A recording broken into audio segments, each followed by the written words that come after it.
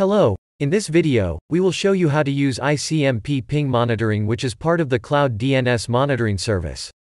It works by sending an ICMP packet request to a target name or IP address in order to verify IP level connectivity.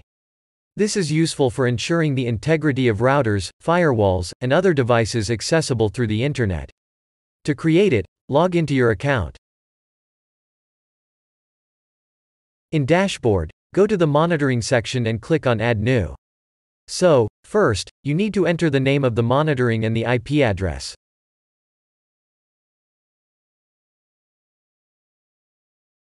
Then it is necessary to select the monitoring type, which in our case is ping.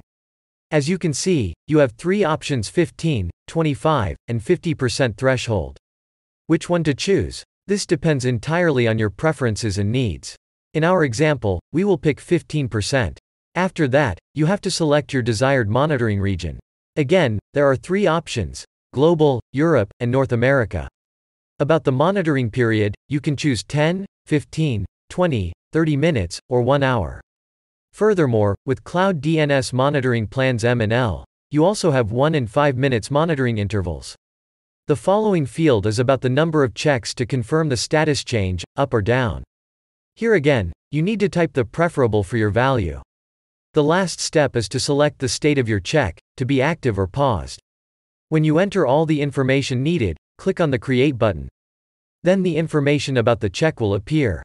So, click on it and check the results. As you can see, our ping monitoring check is marked with status up as it has done a total of 5 checks, and all of which were up. Yes, but how did it decide they were up? That depends on the type of ping monitoring you choose. Namely, whether it should be 15, 25, or 50%. Just a little bit earlier, we chose the 15% threshold. So then, if, for example, out of 100 packets sent to the server being checked, there is a loss between 0 to 15, then that check goes into the 15% condition and will be marked as up. But when will it be with status down? When there is a loss above 15%. In addition, you can modify your monitoring check at any time.